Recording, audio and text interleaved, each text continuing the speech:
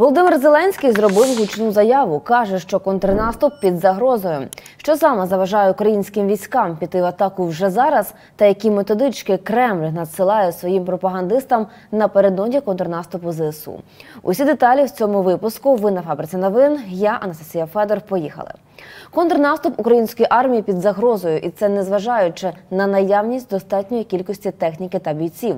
Про це в інтерв'ю скандинавським змі розповів Володимир Зеленський. У чому ж причина? Чому масштабна контратака ЗСУ з деокупації території досі не почалась? За словами президента України, одна із загроз інформаційна. Зеленський зауважив, що в медіа знато багато говорять про контрнаступ, і цей інформаційний шум, мовляв, точно не допомагає. Причому йдеться не обов'язково про фейки, каже Зеленський. Давайте послухаємо. Іноді є інформація, яка виходить в тій чи іншій пресі, і це, на жаль, не тільки російська преса. Але от такі речі, як я вам сказав, час або якась зайва інформація, вона не важлива, яка вона і чи наскільки вона фейкова або правдива. Це, це не важливо. Все це, все це впливає. І хочу підкреслити, це точно не допомагає. Точно. Зеленський при цьому акцентував, будь-які інформаційні вкиди не зупиняють українську армію, навіть якщо з'являтимуться у змі щодня. І контрнаступ буде. Але коли на яких напрямках президент говорити відмовився? Схоже, приховує цю інформацію Зеленський і від союзників України. Очевидно, щоб не стався витік даних, які б могли зірвати план контрнаступу. Про це пише видання Політіко з посиланням на європейських чиновників. У матеріалі йдеться, що про деталі весняного контрнаступу знають лише кілька осіб в Україні. Ми пам'ятаємо, що аналогічну тезу раніше озвучив секретар РНБО Олексій Данілов. Воно й не дивно, особливо після історії з витоком даних Пентагону, як пише політико, вчинок американського військового Джека Тейшері поставив під сумнів необхідність відкритої співпраці зі США.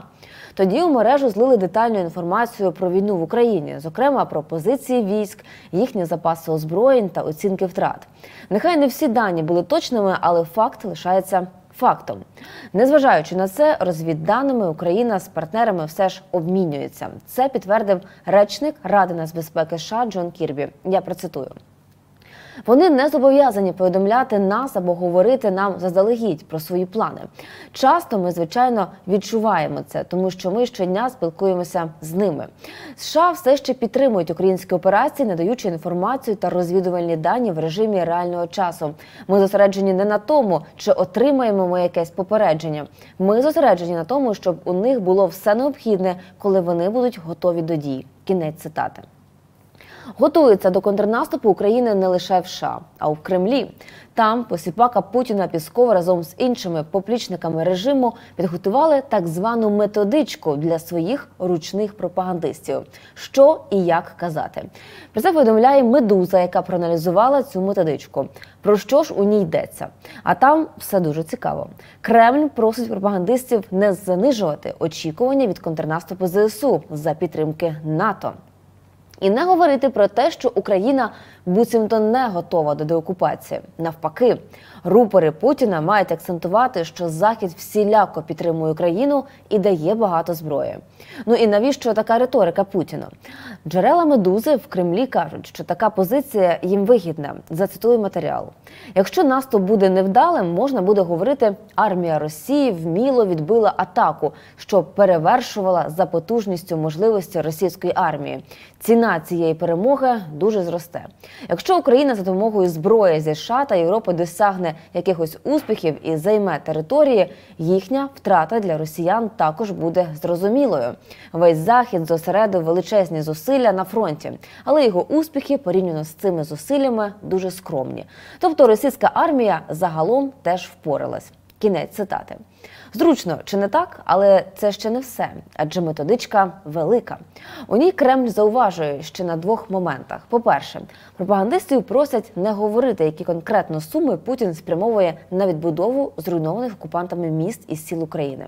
Звісно, умовному Вані з Саратова не сподобається, що з його кишені дістали гроші і віддали на ремонт умовної зупинки в Маріуполі. І це якщо кошти туди дійдуть, а не їх розпиляють дорогою. Так уже було після анексії Криму, пише Медуза. Інший цікавий момент у методичці.